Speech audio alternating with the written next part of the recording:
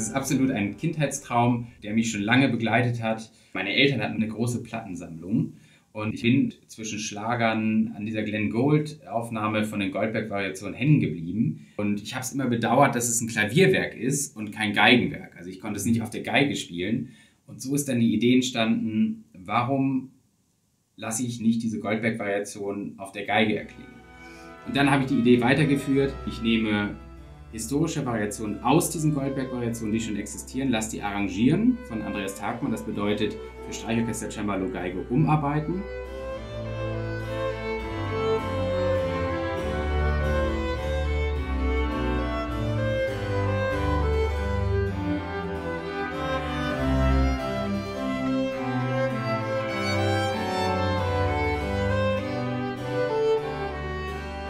Frage Komponisten aus der jetzigen Zeit, Lust haben, sich mit so einem Thema zu beschäftigen und habe die beauftragt, auf diesem Thema basierend neue Variationen zu schreiben.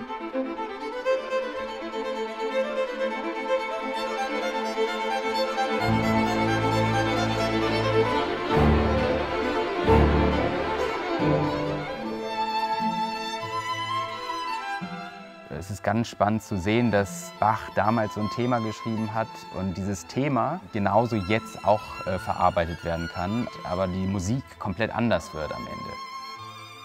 Die Goldberg-Variationen gehören zu dem Kanon klassischer Musikwerke und sind immer wieder neu und interessant, sodass wir gesagt haben, wir wollen uns mit diesem Werk auch nochmal beschäftigen und daraus ein neues Projekt entwickeln.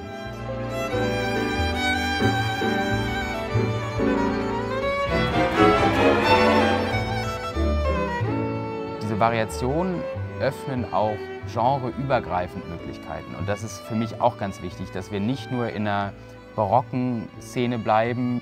Mit Wolf Kerschek haben wir ein Walking Bass drin, also wirklich Bach, Goldberg verjazzt. Das geht über Filmmusik, das geht über atonale Techniken, das geht über äh, serielles. Of course there's very very modern music that we have on the disc, but also some extremely easy listening stuff, including some slightly minimalistic things that seem to cross over.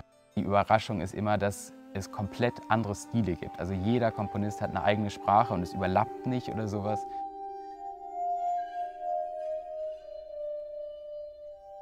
Wir haben zum Beispiel ein Verophon dabei, das ist ein Glasharmonium, was klanglich eine ganz neue Welt offenbart.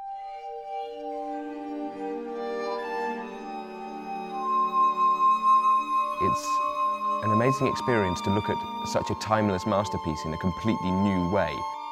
There are various ways you can bring out certain elements that it's more difficult to bring out on the piano and it brings a whole different spectrum of colours to the piece. I think the most incredible thing about this production is the idea to intersperse the arrangements of the original Goldberg variations with the new pieces. You can listen to all of the music all the way through and you're taken on this journey backwards and forwards between the historical and the new and I think that's what makes it really special. Man hat diesen Kontrast zwischen alter Musik und neuer Musik, aber immer diese Gemeinsamkeit des Themas der Goldberg-Variation.